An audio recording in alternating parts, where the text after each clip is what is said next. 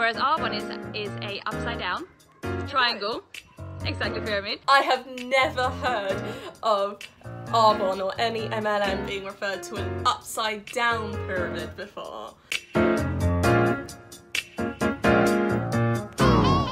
Hey guys, welcome back to my channel. It's me, Charlotte. If you're new here, don't forget to subscribe down below. Today's video is going to be another reaction style video, except this time I've got some smaller clips and photos to have a look at. I have got both of my windows open, so apologies if you can hear traffic going by or noises outside, but it's 31 degrees today and I am literally melting. I guess that's all I've got to say. Let's get straight on into the video. So the first thing I want to have a look at, if you follow me on Instagram, you might have seen that I reposted this, or if you follow Anti-MLM Beauty, you may have also seen this. So Young Living have recently, I believe last week, released a new liquid foundation range and I'm just going to put up on the screen the post that they shared and this is the shade range that they have got for this new launch. This is absolutely appalling, this shade range. We're well into Black Lives Matter being very prominent and they have one shade for people of colour. Now if you thought that was bad, let's have a look at the concealer shades they've launched. I think that possibly Dark 2 you could maybe argue could work for people of colour who have, you know, lighter dark skin. And what is even more ironic is that they posted, I won't read the whole thing, but I'm just going to read the first paragraph. Human language falls short in so many instances. To say that we are saddened, heartbroken and furious about the acts of racism perpetrated against people of colour is simply not enough. Like you, we find ourselves wanting to fix something that has been too long broken. Like you, we find ourselves feeling hopeless in the face of entrenched systemic inequality.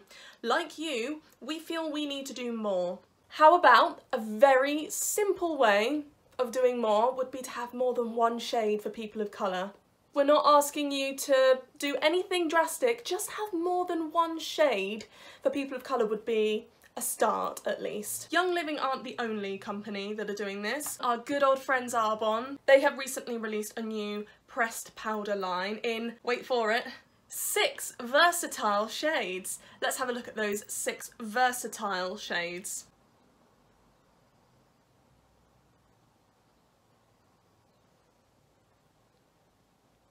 Again, we have one pretty light shade for people of colour, and that's it, and that's supposed to fit all people of colour.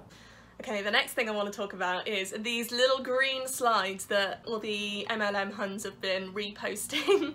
so I'm going to put the first one up on the screen here. Network marketing, myth versus truth. First myth is that it's a pyramid scheme. Apparently the truth is that it's just a different business model than you're used to duh. That doesn't really disprove it being a pyramid scheme, I'm afraid. I am not used to pyramid schemes. It's still a business model that I'm not used to. Doesn't stop it being a pyramid scheme. Okay, let's just say this first. Pyramid schemes are illegal. Murder's illegal, rape is illegal, theft is illegal. Doesn't mean they don't happen. A true pyramid scheme provides no product or service. The people at the top make money based off of the number of people recruited by those below them what's your point? That is the same in all of these MLM companies. And then this bit at the bottom, it says, most major corporations have a pyramid structure, but that doesn't make them a scam or illegal. Simply being shaped like a pyramid doesn't make you a pyramid scheme, but that's not what MLMs are. That's not why we say that MLMs are pyramid schemes, simply because they're shaped like a pyramid. It's because the people at the top earn money and benefit off of the people working hard below them.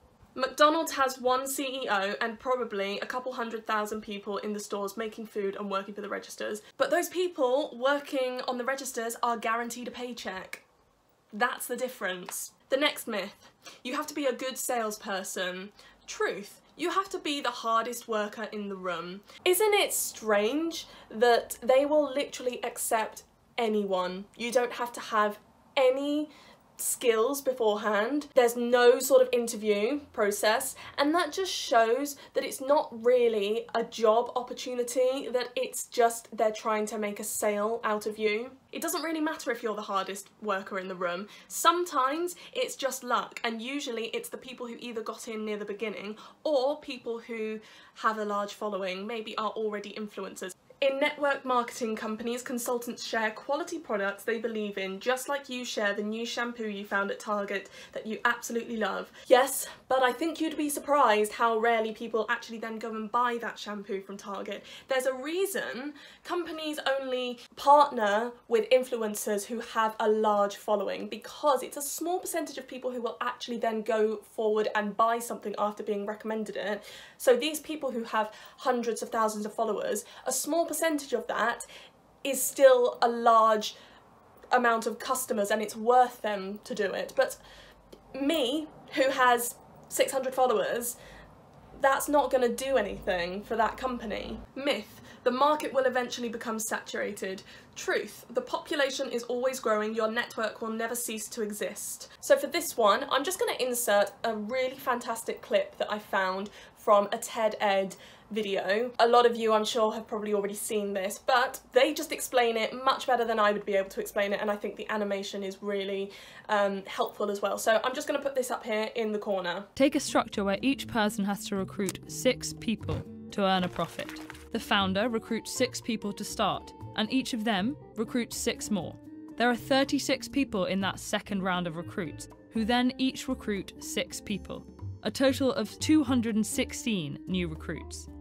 By the 12th round of recruiting, the 2.1 billion newest members would have to recruit over 13 billion more people total to make money, more than the entire world population. So their argument that the population is always growing, it doesn't really work because sure the population is growing but not at the rate it would need to to prevent the market being saturated. The population is not growing to greater than 12 billion sorry, not 12 billion, 13 billion. They said, let me ask you this, do you know anyone who doesn't have some type of cell phone? I know I don't, but that doesn't stop Apple and Samsung from constantly mass producing new phones.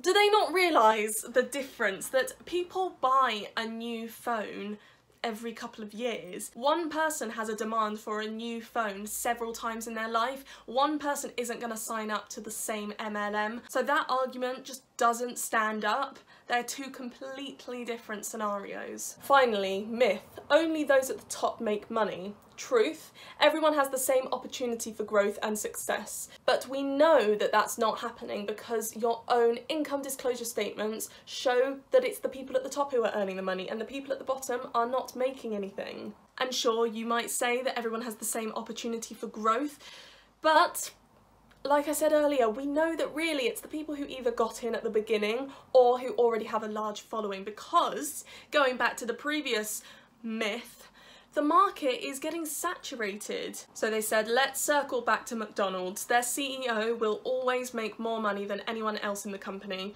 The store managers will make more money than the associates. But the CEO has more responsibility than the store managers and the store managers have more responsibility than the associates and that's why the CEO gets paid more because they have more responsibility but in an MLM, it's the people at the bottom who are having to do all the hard work, and the people at the top are benefiting from the people below them who are doing all the work. Okay, let's have a look at this next clip of these two Arbonne Huns explaining why Arbonne isn't a pyramid scheme.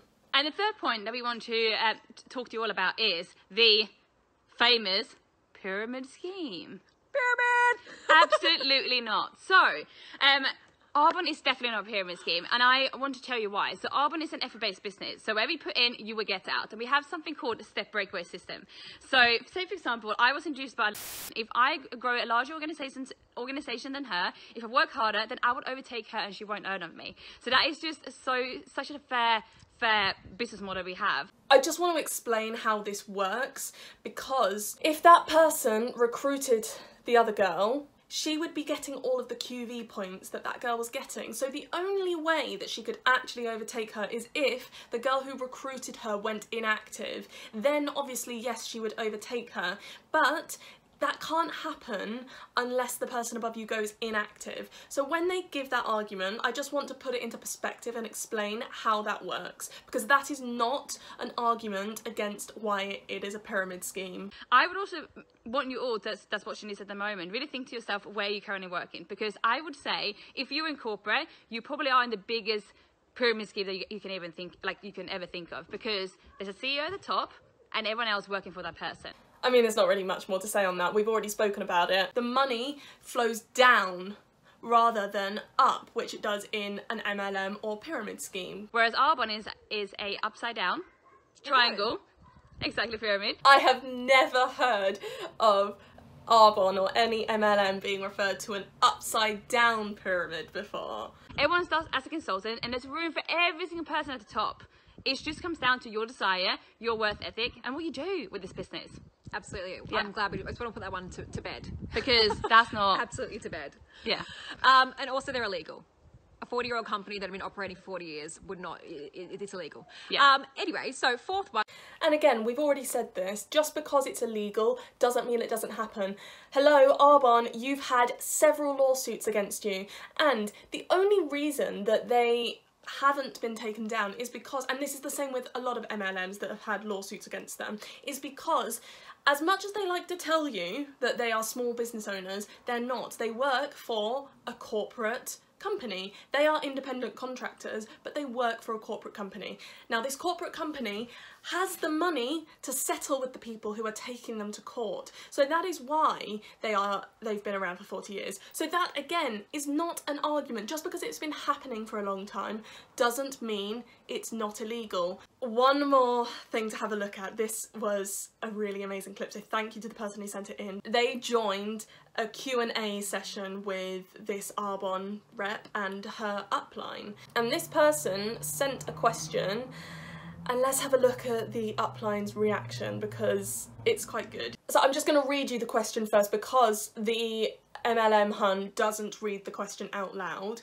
So the question was, does it concern you that 99% of people never turn a profit in MLMs, including Arbonne, according to the income disclosure statements that the companies release? What's it, I've just got a question. Okay, so no, uh, so okay, so every time that someone starts a business with Arbonne, they are deemed an independent consultant. Okay, so the the disclosure statements show that anyone right you know that has a business with arbonne is an independent consultant. Now someone might open an account and then not choose to build the business okay? And that, that takes up you know there's hundreds of thousands of people that do that right? So it's only ever a small percentage when you go to that income disclosure statement that you know do make it to the top levels of management. And that's no different to any other industry. If you look at corporate, guess what? If we looked at the earning structure of a corporate organization, there's going to be a very, very small percentage that is in that top earning potential, right? You know, the, the board directors, the CEOs that make it to the top level of management in corporates versus the people that aren't, you know, at that level. So it really is no different. You know, you could look at all the people that um, complete the certification to become a personal trainer, for example. But guess what? If we looked at all the income and earning potentials of personal trainers, I bet there's only going to be a very, very small, tiny, teeny percentage of the people that are in that top bracket. So that's the thing, guys. It's effort based, and anyone can, if they're prepared to put the effort in, you know, get to the different levels of management. But you have to understand that you know it requires work and it takes time and not everyone is prepared to put that effort in or to stick it out and do it over time. So yes when you go to that earnings disclosure statement you're going to see that there is a small percentage of people that you know get to national vice president the level that i'm at but anyone can. It's absolutely there for the taking for those that are prepared to put the effort in. Sorry i saw a question pop up and i thought oh i want to so notice she was very sneaky and actually changed the question she answered. The question wasn't are you concerned that that only 1% reach the top level of management. The question was, are you concerned that 99% of people don't make a profit? And she is answering that as if that wasn't the question.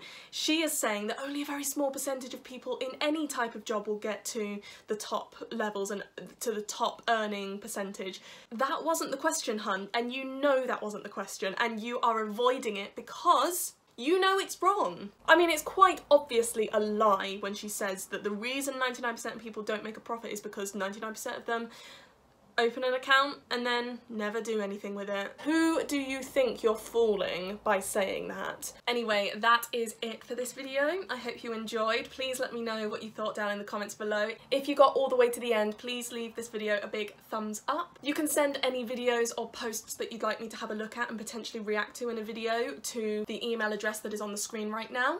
Thank you so much for watching and I'll see you in my next video.